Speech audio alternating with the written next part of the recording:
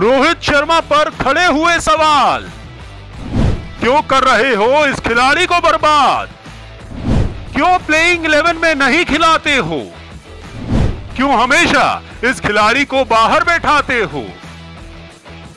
रोहित शर्मा को एक शानदार कप्तान माना जाता है।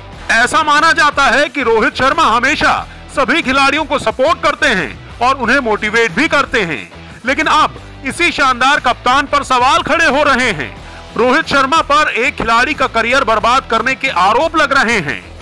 और ये आरोप ना तो किसी पूर्व खिलाड़ी ने लगाए हैं और ना ही किसी मौजूदा क्रिकेटर ने, बल्कि रोहित शर्मा पर यह आरोप क्रिकेट फैंस लगा रहे हैं। चलिए आपको बताते हैं कि ऐसा क्यों हो रहा है।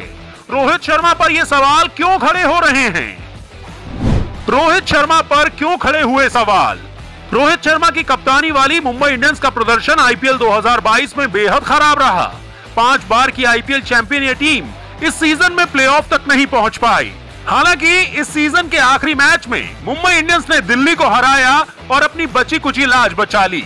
लेकिन दिल्ली के खिलाफ खेले गए मैच में रोहित शर्मा पर सवाल खड़े हो गए।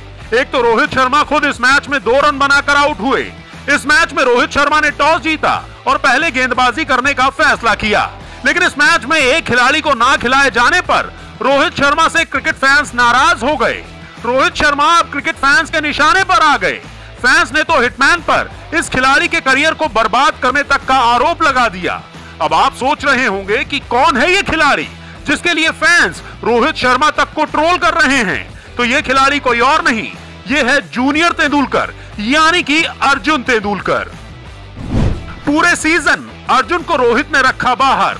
रोहित शर्मा ने अर्जुन तेंदुलकर को पूरे सीज़न मुंबई इंडियंस की प्लेइंग 11 में मौका नहीं दिया। लगातार फैंस उम्मीद लगाए बैठे रहे कि अर्जुन तेंदुलकर को जल्दी ही मौका मिलेगा। लेकिन ऐसा आखिरी मैच तक भी नहीं हुआ।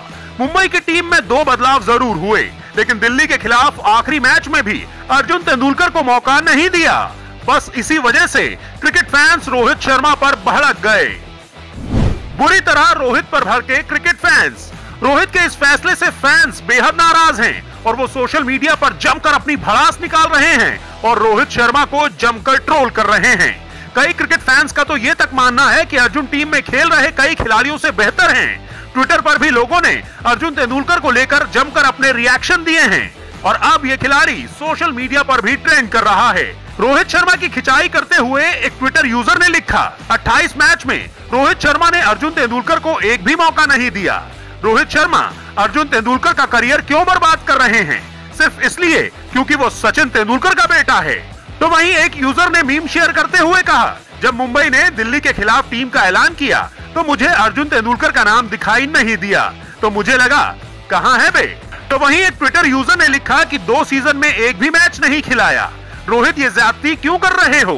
तो वहीं एक सोशल मीडिया यूज़र ने लिखा कि सबको मौका दिया तो अर्जुन तेंदुलकर को क्यों नहीं? क्या सिर्फ़ इसलिए क्योंकि वो सचिन तेंदुलकर के बेटे हैं?